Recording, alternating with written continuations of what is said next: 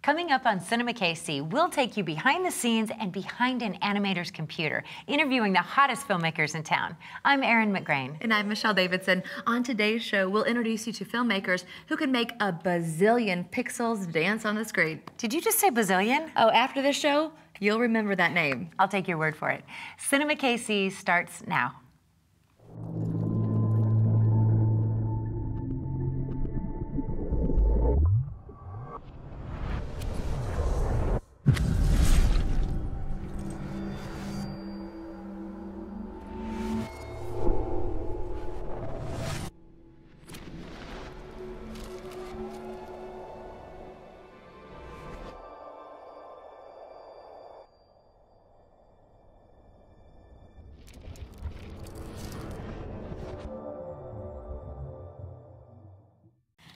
Welcome to Cinema KC, your own personal film festival. Some of the brilliant minds at Bazillion Pictures are here with us today. Stephen Goldblatt, Jeff Beith, thank you so much for coming on the show today. Thanks for having us. Thank you. Now, one of your more recent projects involved projecting not onto a movie screen, but instead on the side of a large building, which was the beautiful Kauffman Center for the Performing Arts. And uh, we're going to take a look at some of that right now. So this is projections.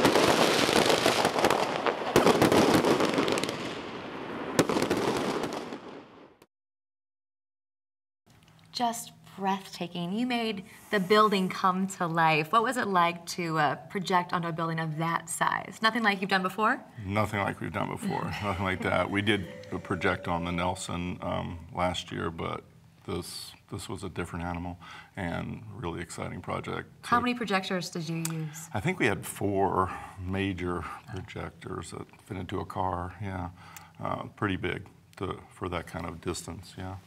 Wait, did you get a chance to do a, test run with this at all? Uh, we had a small test run. You know, were were you month or two nervous the night that it might not go? A little bit. It was raining a little bit, you know, here and there, and some of the projection was in the sky, and we were like, "Why is that happening?" Um, but that was the rain. Cool, nice effect. Yeah, but we it was a fantastic project to work on, and again, an incredible collaboration with Quixotic, who we've been working with for at least five years now, collaborating on all kinds of things. That was a, a great one, and it mixed all the things we love at Bazillion, which is motion graphics, animation, live action, everything together to create this unique experience. And Noel Sellers, who's been on our show as well, was the composer of the music for Yeah, this as mm-hmm. well. for that Yeah. piece. Yeah. Tell us about that, creating, balancing music and projections. It's one of the most fun parts of the process. You know, the emotion comes through in the music, and it and that's truly, it really made the piece. You know, there was so many things coming together, but as we all know, with music and film, when it comes together, it's special. Well, you could tell by the reaction from the audience. You can hear a little bit on the film, but what was it like to be there? What was the reaction like? Uh, kind of crazy. Everybody went nuts. Yeah, you could. Most of the audience was inside Bartle Hall, like 1,700 people, and you could hear hear it emanating from inside. It was pretty exciting. Yeah. Probably pretty special to be there that night, I'm sure. Yeah. We'll have more with you guys after the break, combining dance and film. AMC Theaters is headquartered in Kansas City. They're leaders in the movie exhibition industry. AMC Theaters welcomes hundreds of millions of guests annually through its doors to escape into the magical reality of film for around two hours. You're watching Cinema KC.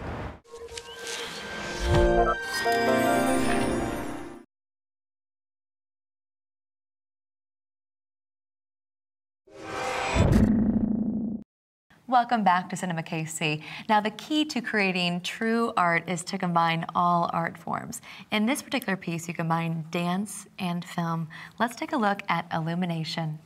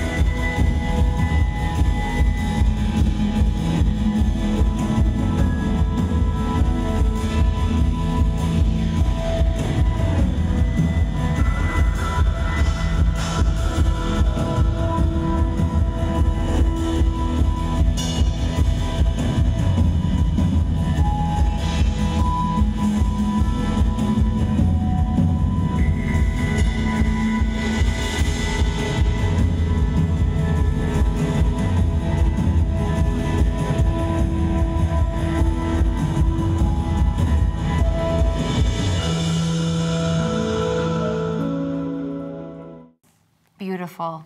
Now, dancers are used to working with music, but not projections and film. Did you add the graphics to their choreography or did they choreograph to your work? It's uh, both, and this one was extensively uh, rehearsed back and forth, and truly light or the projections, the animation became the dance partner. So it was a back and forth process until it was perfected. Do you like to collaborate with Quixotic? Oh, it's an incredible uh, outlet for us. We love the collaboration. It, it gives Bazillion, it's, uh, you know, it's pushing the boundaries sort of arena. Tell you us know. your secrets with this, can you? The secrets? Yeah, how you make it happen? It's actually pretty simple, and it goes back. It's you know the actual technical aspect of it is that it's a scrim, which is a common you know material in the mm-hmm. theater world that you can see through, and it's it's, it's an effective illusion. You know, just using it like that. But the you know the principal folks, we have a team that works really tight. You know, myself, Anthony Magliano, the you know, the artistic director, Laura Jones, the dancer, and Tyler Keith was our main animator on that. And it, we worked really tight. And to this day, I think it's been a, two years now. It's still one of the most popular pieces. Wow. Well, from ballet to basketball, Bazillion does it all. Here's OMG. Just go lock the car. You can get your recording later. Quiet on the set, please. I'm trying to make a movie. Power and light. Love it.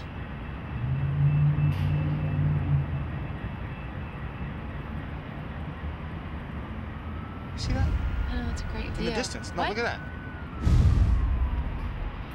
What?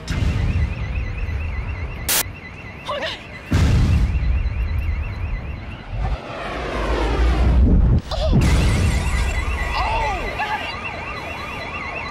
That is so awesome! You saw that! I know! Man! And I got it on tape! Now, we had so much fun making this. It was my voice actually in there. We were standing on top of a building, and the graphics work, and it's funny. Were you happy with the results? Really happy with it. Yeah. Well, it was fun. Let's take a look at one of your other projects after the break Beach Bum. Stay tuned. Have you ever wanted to write a screenplay? Before you type fade in, you can join the Kansas City Screenwriters Group. They meet every Wednesday night at Harpo's in Westport. You're watching Cinema KC.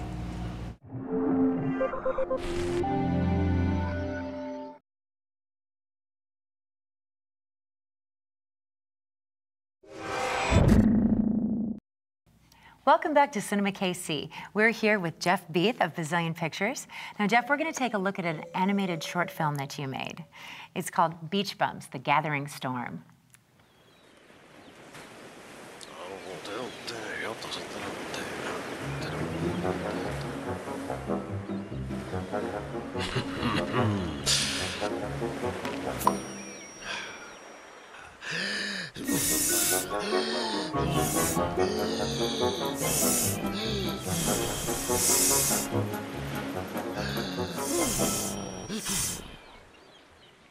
うん。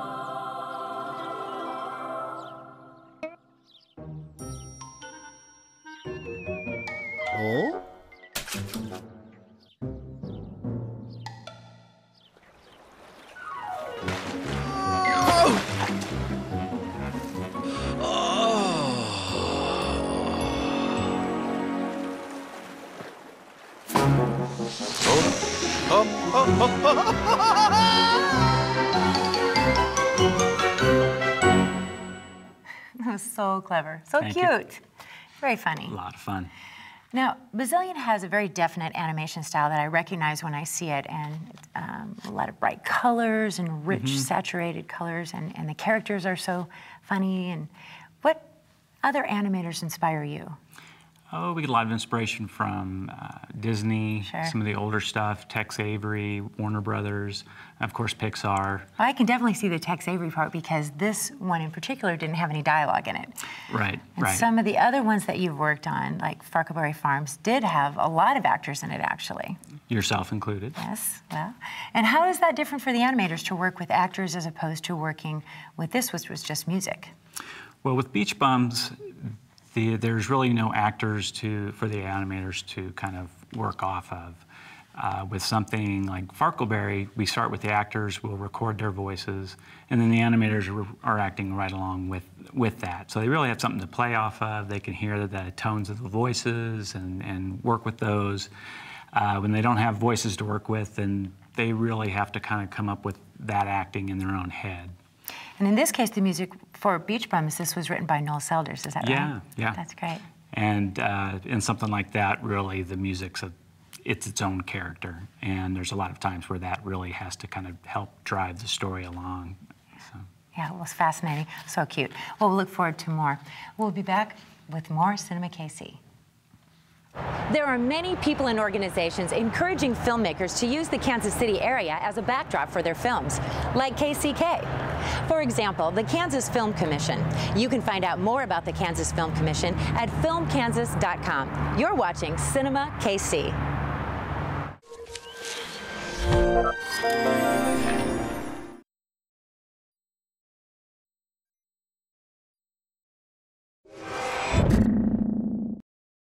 Welcome back. These days, commercials display great storytelling to sell a product. And Bazillion has taken their 30 seconds and created some amazing visuals. Let's take a look. The legend lives. The fire breathing, field clearing power of DuPont prequel herbicide for corn. Unlike anything you've ever seen before, not even the toughest winter annuals, early spring grasses, or broadleaf weeds will survive. Advanced Burn Down Plus residual control. Release the beast. Count on Prequel for blazing weed control. Always read and follow label directions. The animation of the dragon literally takes your breath away. It's so amazing. There's so much detail. You really brought this three-dimensional character to life. How do you do it? This was a really special project for our studio because everybody participated in it. Everybody at our studio has has their own things that they're just a little bit better at, and so everybody was all hands on deck and uh, just working together on it as a team, and it was, it was a lot of fun to do. Are you inspired by nature? Is that how you find these? Yeah, quite a bit. We did a lot of in in developing the dragon. Uh, we looked at a lot of photographs of lizards and horny toads and and all kinds of just different creatures that had scales, and tried to pull from those to get that level of realism. It works. Now, what's next for Bazillion? Oh, we have so many things going on. We have a multitude of things, and that's what keeps us going. We're working on a 3D experience right now that has live action and animation blended together to be sort of like a ride film, and so that's You do it all. We have fun. We try. Okay. Well, thank you so much for being on the show, and thank you for watching. We'll see you next time on Cinema KC.